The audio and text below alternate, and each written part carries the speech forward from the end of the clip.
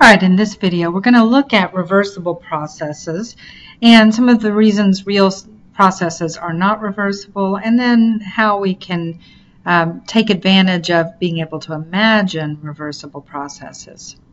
So the ideal process we're going to say is a reversible one.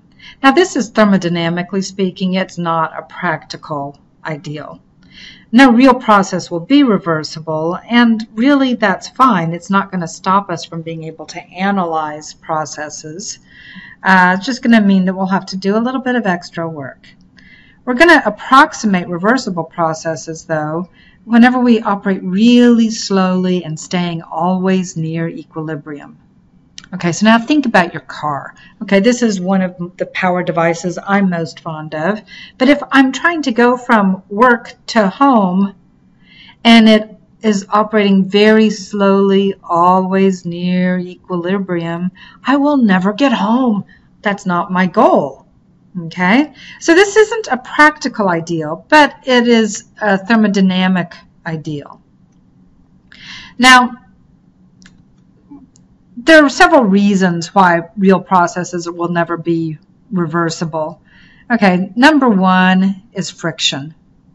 Okay, friction is everywhere. We can't avoid it. It's going to be some sort of energy we cannot recover.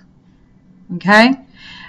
Another one is unrestrained expansion. Okay, so imagine I have a balloon, I pop it, and then I ask you to put it back together. That's not trivial, right?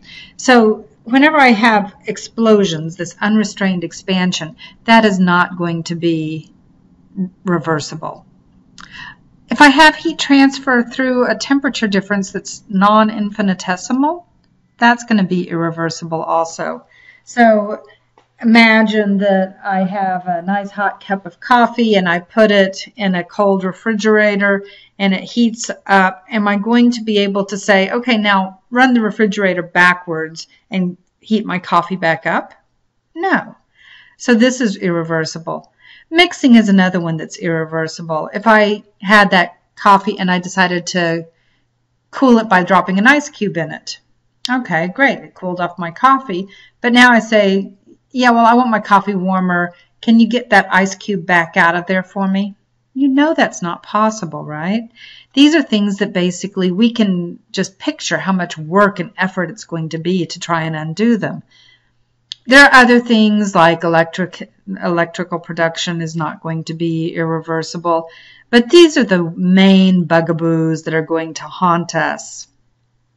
Now, even though real life isn't reversible, we're still going to be able to study that. So we're going to go back historically now to the early 1800s when Sadi Carnot was sitting back out French Revolution and he's firing cannons. And there's a lot of dead time firing cannons. And so he's watching the cannon fire and thinking, and he keeps noticing that as the cannon rubs against the wood support holding it, that friction appears to be heating things up. And but he it gets him thinking about stuff.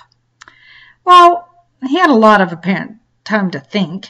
And so what he came up with is this hypothetical ideal cycle. And so basically we start by doing a totally reversible and isothermal expansion. Okay, now this is going to happen at a high temperature and this is going to absorb heat transfer from the high temperature reservoir. So maybe it was that cannon, the fire going off, okay? And it's going to bring heat into the cycle. Now next, I've got this stuff that's got a high energy, and I am going to let it expand. I'm going to do it without any heat transfer, but this is going to be a work process.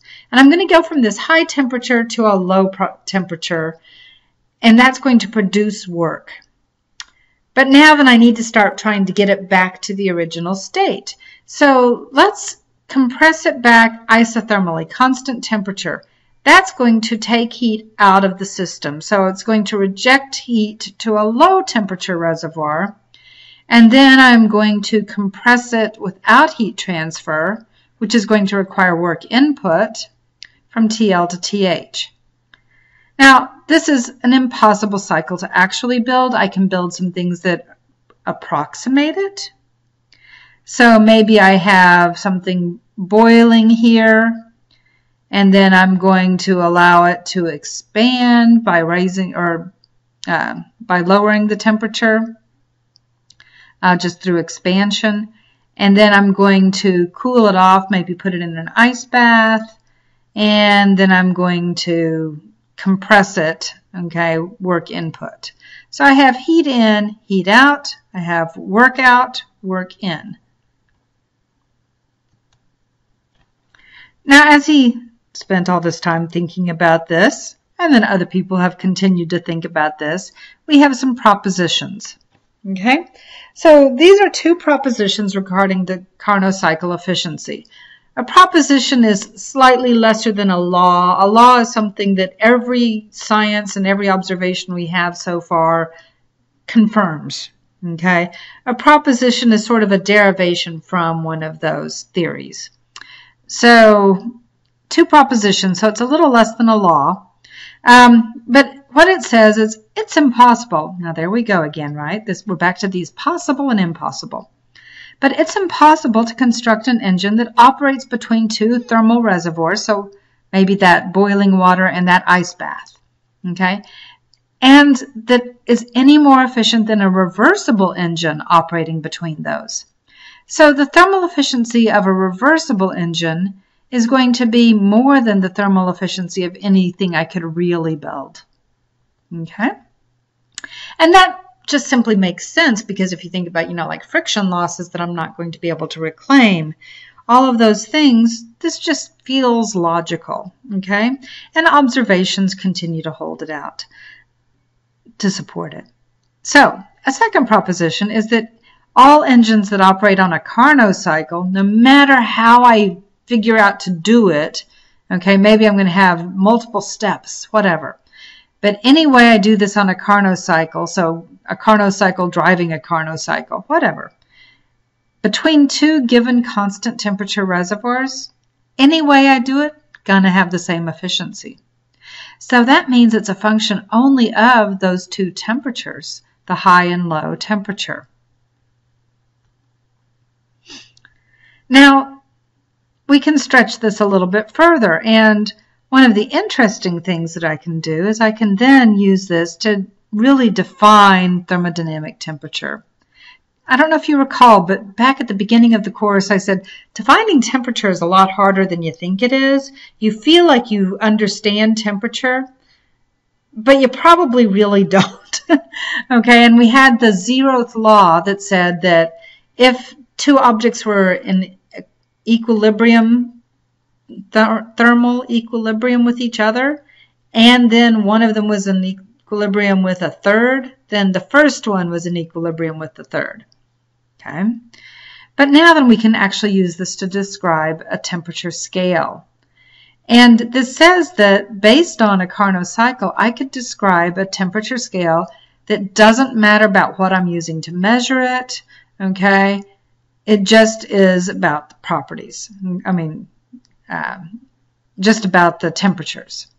Okay, so there's an absolute temperature scale, not just a relative one. Now, I am skipping the derivations of this at this point in time. There, some of some of it's in your book. A lot of it, you, if you do a graduate level course in thermodynamics, you'll do a little bit more with this.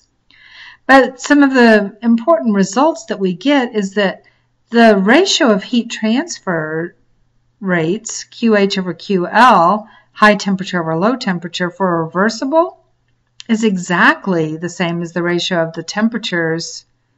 Okay, now I have to take into account signs. These are absolute values. So since I know one's in, one is out, it's negative TH over TL. But this is an absolute temperature scale. These are both positive values.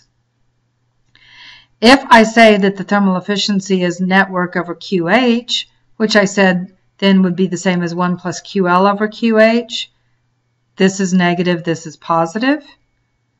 Well, QL over QH, if it's reversible, is TL over TH, but negative. So for reversible, I can define it this way, but I can, for anything, define it as work over QH. And I can do the same thing for refrigerators where I take these QL over QH ratios and put them in. So for reversible refrigerator, I get 1 over TH over TL minus 1. And for reversible heat pump, I get 1 over 1 minus TL over TH. Now one last little topic we want to cover in this video, and this is the ideal gas temperature scale. And basically this says that I can define a temperature scale based on any single fixed point. So give me a fixed point, say the triple point of water. You tell me what that pressure and temperature you want them to be, and I can develop a scale based on that. Okay, really what it says is if I say that the critical temperature or the triple point temperature of water is 273.16 and I know the pressure at that triple point, then the temperature is that value and then a ratio of the pressures. Okay. I get a very simple-minded temperature scale. Turns out that this ideal gas temperature scale is exactly the same temperature scale as we've been calling Kelvin in SI units or Rankine in English units. So we're going to stop right there and we're going to come back and talk about how we can compare ideal and real machines, processes, cycles.